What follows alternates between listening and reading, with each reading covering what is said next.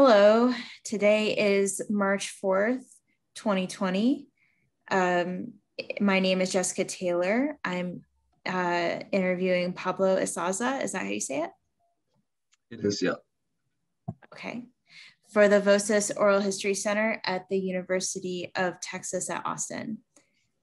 Please know that this recorded interview will be placed in the Nettie Lee Benson Latin American Collection at UT Austin, and it may be available online via YouTube or a similar platform. If there's anything you do not wish to answer or talk about, especially given that you're recording here online, I will honor your wishes. Also, if there is something you want to talk about, please bring it up and we'll talk about it. Because we are not conducting this interview in person, I need to record you consenting. So I'll ask you a series of five questions. Please say, yes, I agree, or no, I do not agree after each one. There are three questions we need to make sure you agree to before we go on. Voces's wish is to archive your interview along with any other photographs and other documentation at the Benson Library at UT Austin. We will retain copyright of the interview and any other materials you donate to Voces. Number one, do you give Voces consent to archive your interview and your materials at the Benson Library? Yes, I agree. Okay. Do you grant Voces copyright over the interview and any material you provide? Yes, I agree. Do you agree to allow us to post this interview on the internet where it may be viewed by people around the world? Yes, I agree. We have many questions in a pre-interview form that you have already filled out. We use that information from the pre-interview form to help in research. The entire form is kept in a secure Voces server. Before we send it to the Benson, we will have stripped out any contact information for yourself or family members, so that will not be part of your public file. Your public file will only be accessible at the Benson Library. Do you wish for us to share the rest of your interview in your public file available to researchers at the Benson? Yes, I agree. On occasion, Voces receives requests from journalists who wish to contact our interview subjects. We only deal with legitimate news outlets. Do you give consent for us to share your phone numbers or your email with journalists? No. Okay. So let's actually do this. okay. Um, tell me a little bit about your experience with COVID 19. Um, well, you know, it's been about a year actually. I think next week is it marks like one year. So it has definitely been a really tough time for me and my family, I would say. Like not only uh just like financially, but I think mentally, um, as well as like emotionally. Uh I don't think anyone expected it to be prolonged like for this amount of time, um, at least in the US. But like the biggest thing for me as a student is how mentally draining online classes have been. I would say that's the biggest hit for me. Um, and I know a lot, like just talking about it with a lot of my peers, they would also agree. So, yeah. How did you first learn about COVID 19? I heard about it back in late December, early January. Um, but at that time, it sounded like something like we had heard about in the past, like Ebola or maybe some other type of disease. So it didn't seem super serious. Like I remember people kind of making jokes about it. Um, so yeah, I think I just read it in like a news outlet. Uh, what was your initial reaction to what was going on um, in uh, December and January? My initial reaction, I did not think about it for too long. I just thought, you know, this is just another disease and then they'll figure it out and we'll get over it. Yeah. Um, what was the point at which you realized uh, that it was serious?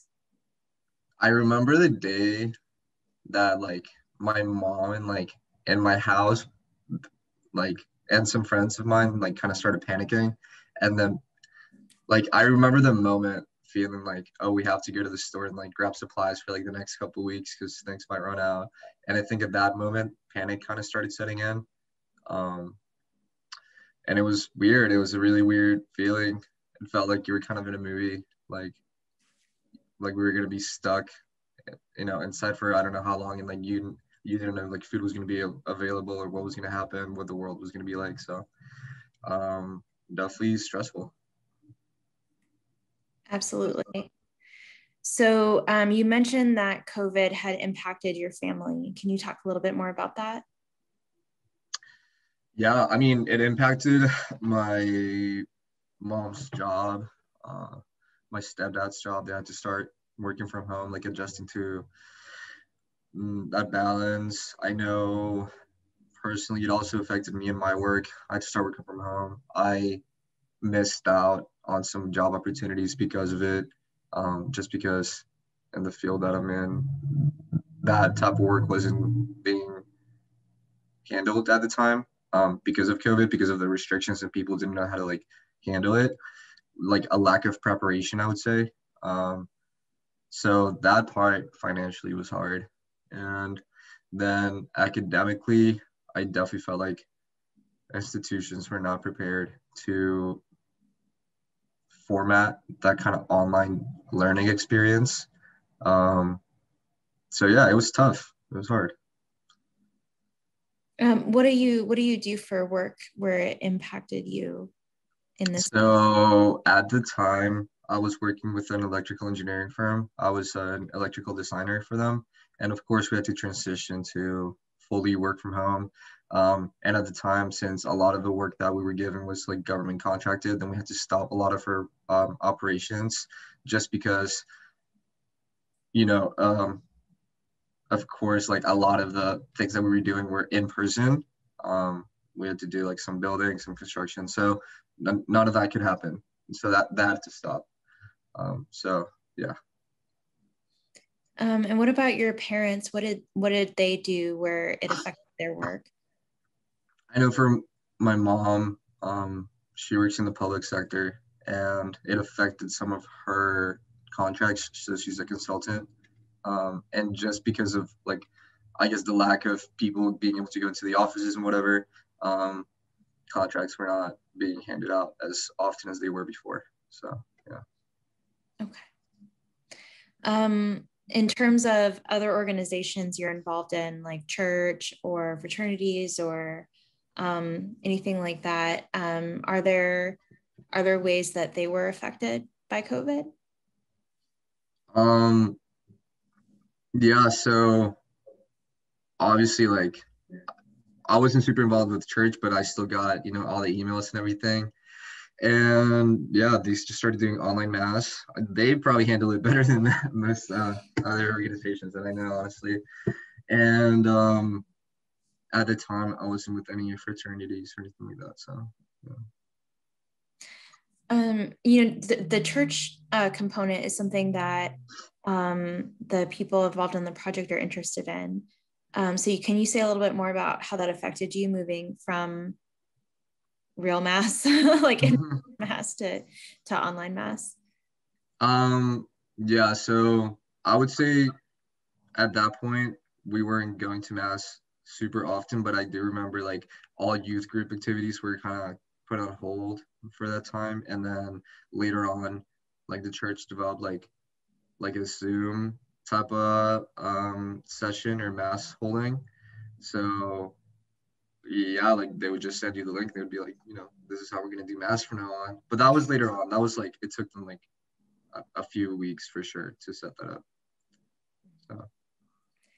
Um, did it affect things like Christmas mass or anything like that um, that you may be more likely to go to? Yeah, for sure. Mm, I mean, um, my parents are Catholic, both of them, so religion is a big part um, of their lives. And we, I mean, they, we haven't gone to church since you know the outbreak happened. So, yeah. Um, do you remember specific moments where they were affected by not being able to go? Um, I wouldn't say it affected them like super harshly emotionally, just because they you know, you can still pray at home and you can still, I guess, live a fulfilling religious life in that way. Um, but it's kind of like a tradition just to go. Um, and I know they did enjoy it. It was, you know, something that they did on, on the weekends, and of course, like Christmas mass. I'm sure they missed it. So. Yeah, absolutely. Um, beyond your immediate family, um, did COVID affect any extended family members um, in any way that comes to mind? Um, I don't think any of my family members actually had COVID, fortunately. So, um, and most of them live outside of the country, anyways. So they were not super affected. I mean, my family always did a good job at like staying home and kind of isolating. Um, so, yeah, we we just were not super affected by like the illness itself, you know, um, and like being contagious or anything like that. So, yeah. totally. Um, just in terms of experience, how was your family outside of the country affected? Well, they live in Colombia, and I mean, to this day, like cities are still pretty under lockdown. Um, and I know my grandparents were like terrified of it, not only because of the like repercussions of the illness of the you know disease, but also just because like since it is a third world country, you don't know when you might get vaccines. You don't know um, how the healthcare system might react to it. I mean, like in the U.S., it's very, very different than in, in those countries. Um, and I lived in Colombia for 14 years, so I know about it. I just remember like them being pretty scared to even see like my uncles and my my little cousins like from March all the way up to like I think Christmas time. They barely saw each other. So, yeah. Uh, how did you stay in contact with folks from Colombia um, during the pandemic? Through through WhatsApp, mainly like social media. Um, so we would we would like have family Zooms. I remember that. Um, we like even with um, cousins that we hadn't seen seen in a long time. But like yeah, for Christmas and all that, we had like Zoom meetings. Um, whereas, you know, of course, in other years, maybe we would go and visit them. But yeah, so that's how we handled it. Absolutely. Um, so, in terms of uh, who you physically interacted with, um, have you done a lot of traveling um, since the pandemic started? No, I I mean I haven't left Virginia since. So I think the first time I even left, um, I was in Fairfax at the time. That's where my family lives, like the Fairfax, Annandale, like Northern Virginia area. Um, and I I think I didn't leave until I had to come back to Tech. So in like August, and so I've, I've just been traveling from Blacksburg to my parents' house. That's the only really travel I've I've done. Um, this is a, a weird one, but how has your how has uh family changed what you take with you when you leave your home? Maybe between a lot of a lot of hand sanitizer for sure. In the cars, like I remember I mean in the beginning especially was like running out. So like I think my parents like ordered it from some online site or whatever and it took like a few weeks for it to hit us. Like fortunately we had some in the house, but I remember like um oh, oh my god like one of the main things was we would disinfect all of our food right after we would come from like the grocery store like i don't know if other people have been doing that or or whatnot but like all produce um everything like we had to disinfect it like we had like areas in the house where we would keep food from the point where it was from like Costco or the grocery store, wherever we were at in our house, and that was like the designated area. And then we would clean it, and then we would store it in the fridge.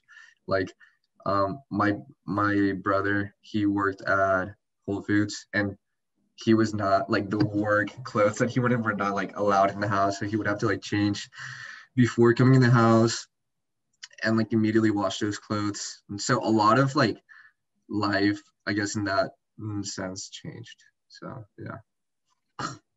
Definitely. Um so what about wearing masks? Um how do you and your family feel about wearing masks? Uh, I mean, we we never had a problem with wearing masks or following like any of those mandates. So um, I think we struggled in the beginning to like find the right mask. Like we didn't really know. I think some people like didn't know if they were like N95s or like those regular like I guess blue-ish masks that uh, like nurses and stuff wear or used to wear. Um, but we, yeah, I mean, we ordered like our own masks and we washed them. We have like, I think everyone in my family has like a few that they just kind of rotate out. So. And we talked about this a little bit, um, but COVID has changed the way that you receive education. Um, do you want to talk a little bit more about why that's been challenging? Yeah, so I would say colleges are not very very well prepared, especially in the beginning to give an online format. I know with myself and a lot of my friends, um, it's it's such a different learning environment from going to in person, and I know like even professors feel that way. Um, and it's it's just like such a weird time in the world, you know. Like it feels like school is not like the most important thing at times. Like there's so much else going on. Like I don't really know if like calculus homework is really the most important thing in my life right now. So um, I mean that's on one part, and then and the second it's the format. You know the way tests are giving are given. Um, I know like from a stress standpoint, um, a lot of people don't like lockdown browsers because they feel like it like disturbs their privacy, like having to show your whole home and like every single movement and everything that's um, it just makes people feel really uncomfortable and i get it that obviously there's honor codes that you need to follow but it you can't you know move away like just look the other way when people tell you that their mental health is not okay because of it. Um, so yeah i mean just being in Zoom, obviously you try to make the most of it and, and waking up and trying to go to class and keep yourself like focused, but it's definitely such a big change from being on campus and like actually going to physical class rather than just like waking up and like maybe even having your computer on your bed and going through like the motions. Like that's in my opinion, that's not really like learning. Like at that point, you're just completing assignments. And I think um, that's not what college should be about, and that's not what universities should be about. You're trying to be in an environment that um, helps you learn and guides you to like achieve you know maybe like future things in life and at that point you're just going through the motions of schoolwork so yeah that's what i think. Um, in terms of what's helped you get through it do you have resources um, or tools that you have employed in order to keep going? Um, education yeah, I mean, you I've tried to like set a pretty busy schedule, at least with like working out and like doing stuff outside of the house. I think that's one of the biggest issues that I've encountered, and also just people my age have like encountered like you're just inside your house all the time, and that can be very draining. Um, just because I mean we're humans, most of us need like social contact. You know, we need to talk to other people, um, and so having a schedule is definitely super useful. I think going out for a walk or a run is also um, pretty great. Like I have this past year, I learned about like the Pomodoro method, um, the technique. So that's been super great for me personally because it keeps me like motivated. Um, I know like in the beginning, I was just trying to. I, I said like, okay, I'm just gonna stay in my room, like do like eight hours of work. But when you do that for like months at a time and like don't talk to anyone that can be you know that can affect your mental health um, so yeah just doing that i might put like sticky notes like around my room or whatever like tell me to complete tasks. I think that's mainly what i've been doing so. Um, were there particular classes that proved challenging or like particular moments in um, spring or fall that were challenging for you? Um yeah like I used to work around 30 hours a week and I was a full time student also. So having to transition from like that routine of like I would go to work from like 6 a.m., 7 a.m., and then I would have my classes and everything to now everything's like online and you know, work is just weird and like no one really knows how they're gonna manage it. And also like school is not very clear, like the way tests are, are giving. So I would say spring of 2020 was like super hard. Um, March, April, May. So yeah. Absolutely. Um, so as knowledge of COVID came out over the course of 2020, um, how did your concerns about your own health and the health of your family change? Um, well, I think like especially in the beginning, we didn't really know who was mainly at risk. Like I think we understood that people with pre-existing conditions were mainly at risk. So my parents, I was like super scared to be like around them or like to see anyone. Like we kept a pretty close circle. Um, just it was really just me and my brother and my mom and my stepdad for like a lot of months. Um, so yeah, I think it was just scary. Like you didn't want to be the person that gave your parents something, and you also didn't want to get it because you like you didn't know what was gonna happen. So it was a it was a bit frightening at first. Yeah. Um, you've mentioned mental health a couple times. Um, do you want to expand on that from a personal perspective? Yeah. Um, so I think like we were all pretty used to a, a way of living before COVID, and it's kind of hard to understand that we're most likely not gonna be like that ever again, or like as a person, like understand there's life pre-COVID and there's life post-COVID. Like it's it has changed so much about our lives, and it will continue to change it just because of the precedent that it set in. Um, and that's hard to like understand. I mean, you want. I mean, there was nothing more than like you know you would want to be able to go to like the movies or a concert or whatever, but I mean, you just don't know how likely it's going to be. And on top of that, you have to stress about okay, I have to keep on having my responsibilities and, um, you know, paying my bills, getting schoolwork done, and maybe like I don't have enough money because COVID, you know, financially just set us back. And on top of that, the government is not really helping out right now. So it, it's a lot of stuff um, kind of tied down together and it's all connected to like at some point or another and um, it can be hard you know? So yeah. Were there moments where you realized like mentally or emotionally this is difficult? Um yeah especially like i would say financially when you didn't feel super comfortable like that's mainly when i felt like that like you you just it's stressful, you know, not having like enough money to feel like you can go to the grocery store, whatever. Um, that can be impactful a lot on your mental health. Um, yeah. So on top of that, having like 10 assignments through the week, and then I don't know, you have to maybe like your mom got sick. Like I remember my mom got sick at some point during like May or June, and obviously we were super scared because we didn't know what was going on. Like thankfully it wasn't that she, she just got sick from like the, cold or whatever else. But you know, she if she was bad for like a couple weeks and we didn't know what was going on. You like tests also in the beginning. Testing was super weird in the beginning. I don't know if people talk about that, but it wasn't like like people paid hundreds of dollars for tests because they weren't um, easily accessible. It's a, it's a similar situation to what's happening now with, with the vaccines that people were like, you know, only like I guess political figures and like the most important people were getting vaccines, not the general population. So, yeah. Um, well, that was going to be, you know, one of my next questions is um, how did how did access to healthcare change for you over the course of the last year? Well, thankfully, I, my family, and I have a good healthcare um, provider, so we're really blessed in that way.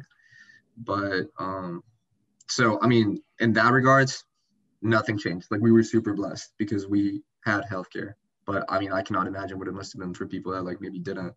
Like if they got sick, I, I don't even know how hospitals or, or ICUs or anything handle that or how much the costs were. So like imagine being sick and then you go to like an ICU and on top of that you can't pay your bills and like everything's just falling down. Like it must have been awful for a lot of people. So yeah, definitely. So, um, speaking of vaccines, um, how do you feel about the vaccine rollout at this point? Um, I mean, I'm glad that they're starting to roll it out. I mean, later's better than never, you know. But um, yeah, like I, I don't know if the guidelines are super clear to when people are gonna start getting it. I actually received an email about a week ago from my healthcare provider saying like we'll put you on a wait list. So I think right now that's how they're handling it. But I would gladly take the vaccine. I, I would have no problem with it. So yeah. Um, how does your family feel about it? They feel the same way. I mean, they're already on the wait list. So yeah. Okay. Um, so um, another thing that came up briefly is um, about the government response. Um, mm-hmm. How do you believe politics has affected how COVID has been handled? Oh man, um, I I don't know. I mean, people talk a lot about um, like it's political propaganda and like I guess it's like they were trying to say some politicians were lying about it to make it seem like whatever. I don't I don't even want to get like too much into that. Like I don't really understand exactly what's happening or what people were doing for political gain. I just think the US being the US, being the country that it is, it should have handled it a lot better than it did. Um, and I think whoever was in charge, like whether it was like Democrats, Republicans, or whatever you want to call it, like I don't think they they handled it well, and they they should have done more for society here and, and its citizens um, and protecting them not only with like physically.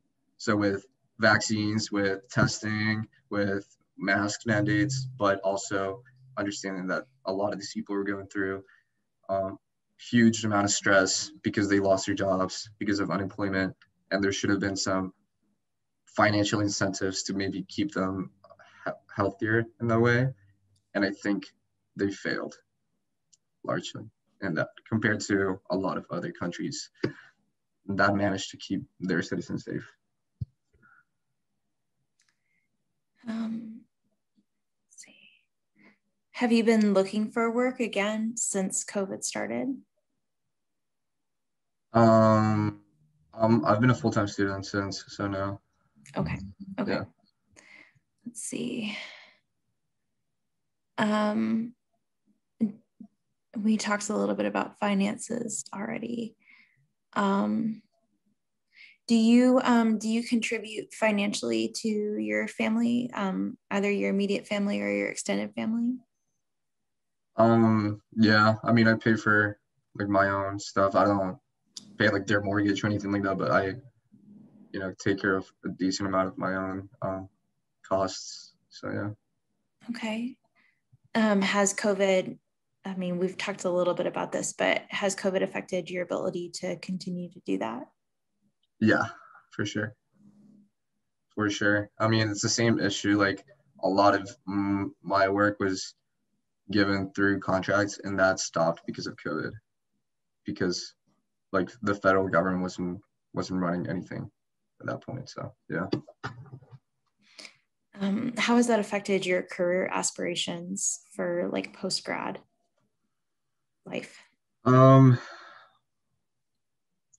I think maybe I would have wanted to save up a little bit more money that I had and like maybe save that for like grad studies or whatever. So I had to use a lot of the savings that I had on like this year just to like live. So yeah, that's how it affected me.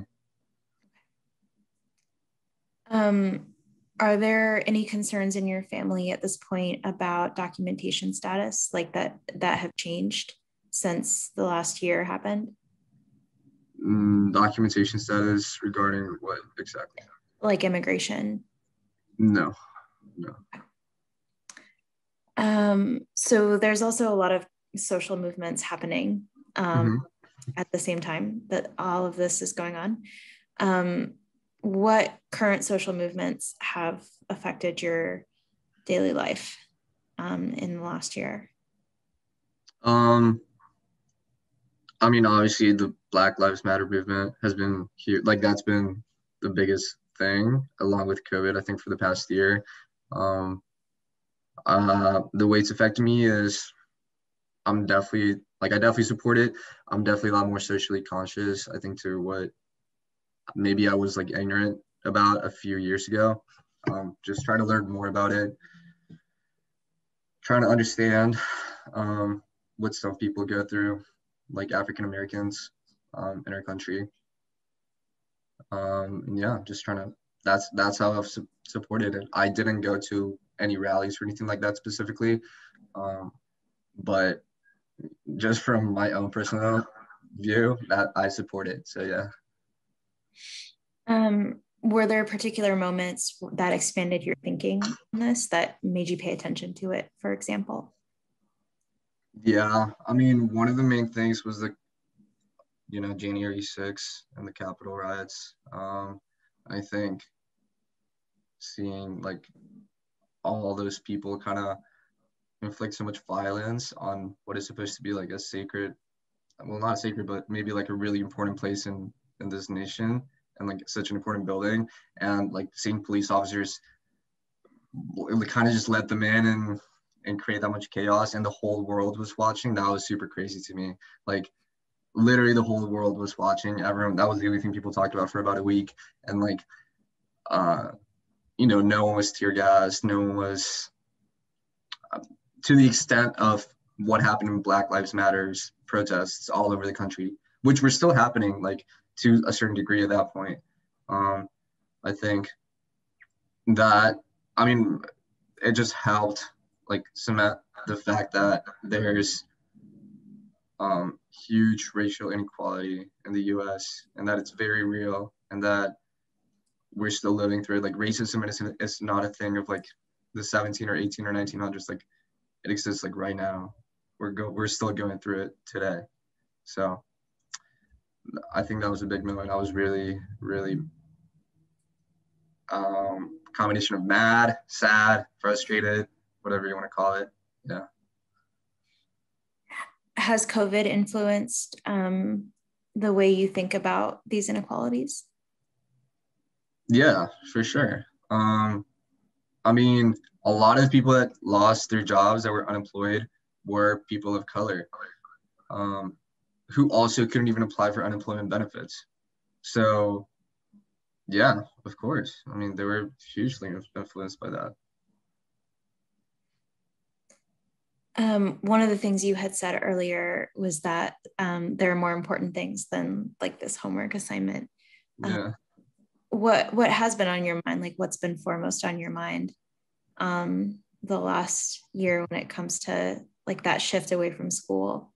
What are you thinking about more than you would be? Um, I would say we have a lot like i think i realized that as a person you kind of have a lot more power and you're more a lot more impactful than i think you realize that you are especially when groups of people come together and like sometimes maybe as individuals we don't really realize that um so you know like with all of these movements with everything happening i think my mind was just like wow we need not only reforms and a lot of the systems that we have in place in the country.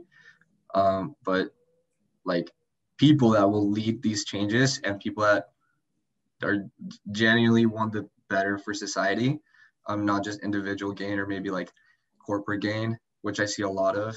Um, and it's they kind of already do it in our faces and they don't really, you know, they, they, they don't care. But yeah, I just think there need to be maybe better political leaders in the country.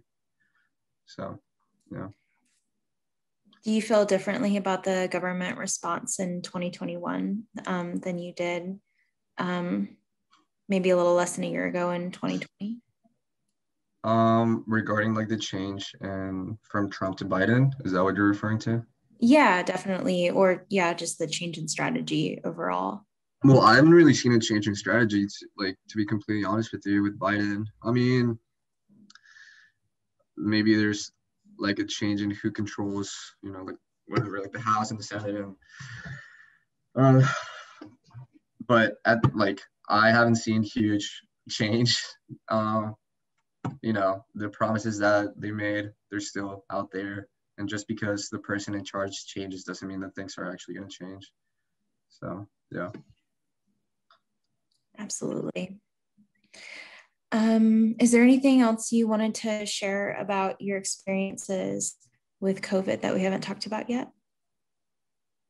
Um, no, I mean, I the only thing I would say is professors, at least in my experience, have been super understanding. Like, I think they're kind of a lot of them are going through the same thing that us students are going through. Um, so with my experience with the professors themselves, not the institutions, not the universities, they have been pretty great to be completely honest. Like at least, I mean, personally, like my professors have been super understanding. They know like, and even they have more stuff going on. Like I know a few of them have gotten sick with COVID, so they understand what it's like. Um, so I think, yeah, I don't know exactly who's running stuff behind the scenes or what's going on, like, but from like uh, personal level, you know, when I speak to individuals, I think everyone's pretty much on the same page. So there's a huge disconnect at some point. I just don't know where it is at. That's all.